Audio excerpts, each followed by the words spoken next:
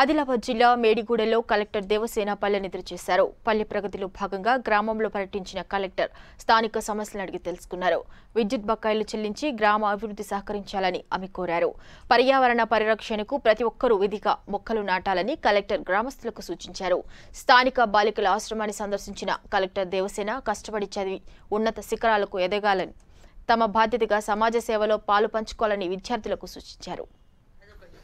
రెండు మీ పనులన్నీ ఖచ్చితంగా వసూలు కావాలి. మీ పనులు వసూలు చేయకపోతే ఏ పనులు చేయలేరు. ఆల్రెడీ మొన్ననే మన కారోబారీ సబ్ మొత్తం చేసే చేసిందేమో అతను క్రైమ్ చేశాడు అందుకే చనిపోయాడు.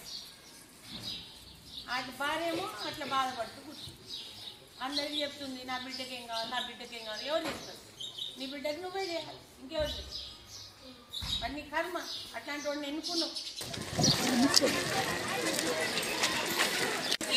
ఈ మీ క్యాంపస్. అమ్మ మీకు ఆ, పనులన్నీ వసూలైనాయా?